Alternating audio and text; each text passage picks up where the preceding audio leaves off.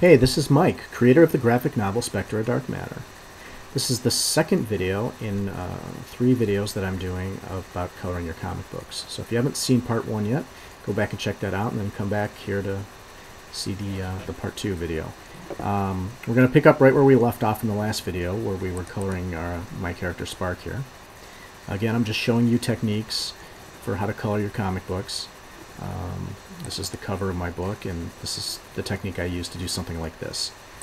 So we'll pick up where we left off. Um, you can see we've got several layers here, black lines, white background, and then several of the layers of the, uh, you know, the different colors here isolated. Uh, I'm going to go back to my palette here to pick uh, my next set of colors, which I'm going to use this green trim color. Selecting the eyedropper tool, changes the box to green, and then we're going to create a new layer for green trim.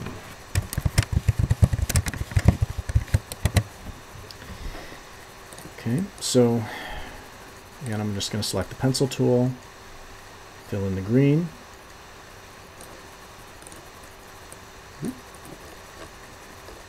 Uh, the green's going to go on the trim around on the sleeves, around the neck, and this little flap here on the on the coat. So fill that in, and then the trim around the waist as well.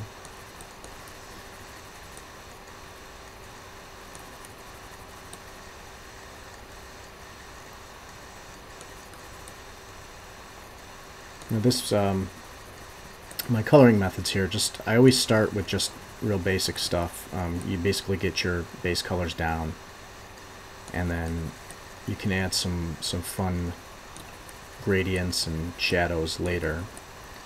Um, you can use these techniques to do the interior. If you do, if you want to do color interiors, you can, you can do that.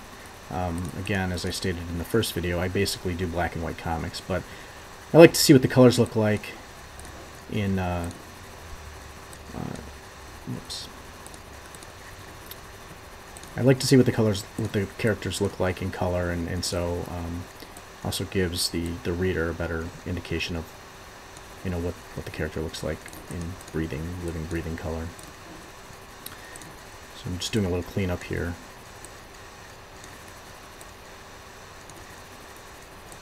And uh, we're starting to come together. Now we've got our trim. The last major item is these boots here. So the boots I break up into two pieces. I've got uh, a black boot and then like a gray gray trim there. So we'll just, I, I can actually just, I don't need to go back to my palette. I can just select black here. Uh, make a new layer for boots.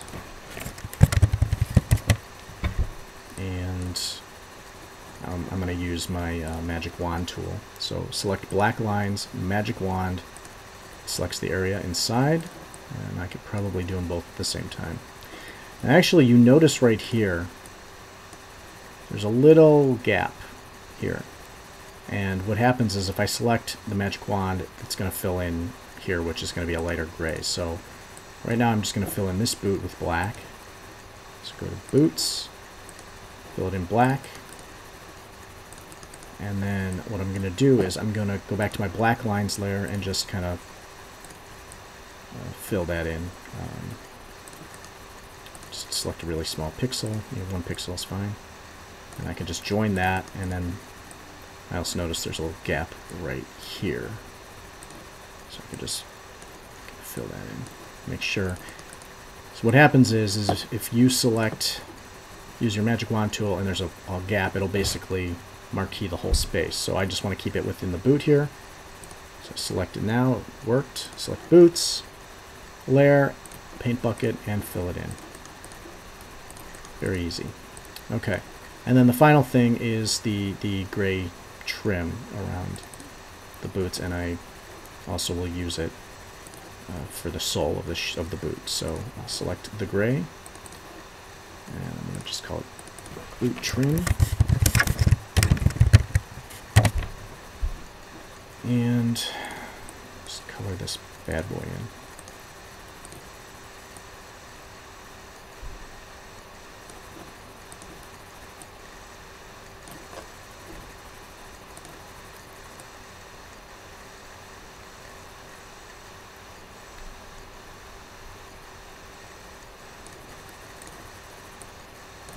Go over the lines, select the eraser. Just that's the nice thing about having layers, of using layers, is that you can just erase that one layer.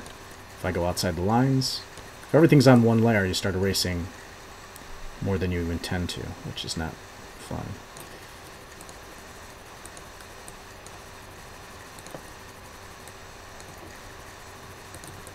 And that's that. And then I guess the final thing is I have some... Uh,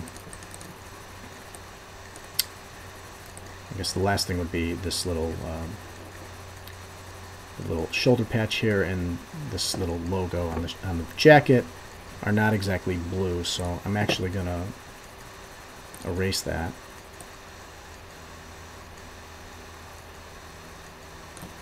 By going to the blue coat layer and then taking the blue out of there. And this little S logo here is yellow And so the final thing I need to do for this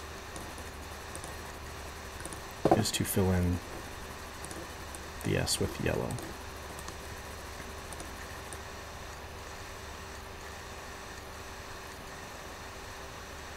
Okay. So this is what we have now. Now, this is great. It's basically almost done. I've got my base layers um, finished. Now, we're going to stop the video here. In the next video, I'm going to add shadows and highlights and then, you know, really add a little bit of dimension to this uh, flat color rendering. So we'll see you in video three. See you.